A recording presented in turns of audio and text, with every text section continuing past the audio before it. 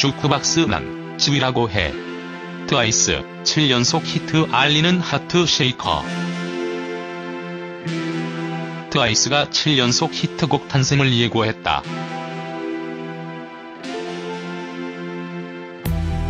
트와이스는 11일 오후 6시 타이틀곡 Heart Shaker를 비롯한 리패키지 앨범 Merry and Happy의 전곡을 공개했다. Heart Shaker는 마음을 송두리째 흔들어버린 상대를 향해 용기 있게 먼저 다가가서 사랑을 이뤄내고 싶은 트와이스의 마음을 담은 곡.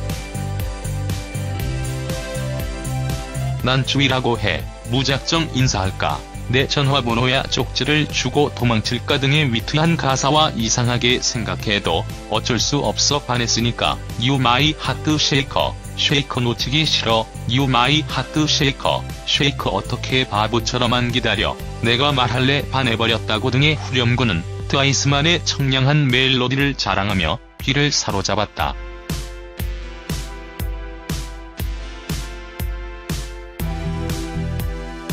함께 공개된 뮤직비디오에서 트와이스는 흰 티에 청바지 혹은 청바지를 입고 겨울에도 상큼한 매력의 퍼포먼스를 자랑하고 있다. 한편 이날 하트쉐이커를 발표하며 7연속 히트를 예고한 트와이스는 본격적인 컴백 행보를 이어나갈 예정이다.